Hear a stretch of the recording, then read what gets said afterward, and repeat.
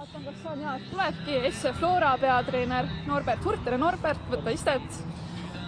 esimene võit võõrsi sellel hooajal, palju õnne, kuidas ise selle kohtumise kokku võtad, teine poolaeg just väga palju ei toimunud. aitäh kõigepealt, et äh, ega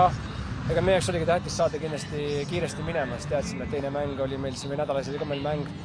mäng all ja ütleme siis eelmine nädal, et et ega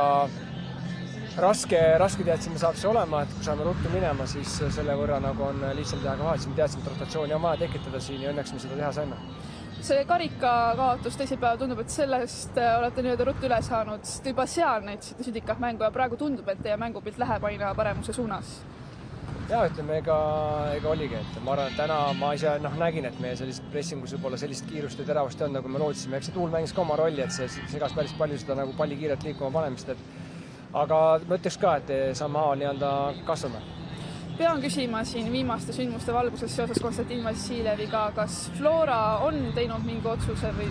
mis Konstantin Vassiljevist, kas temal siin kapteni pall jääb alles näiteks?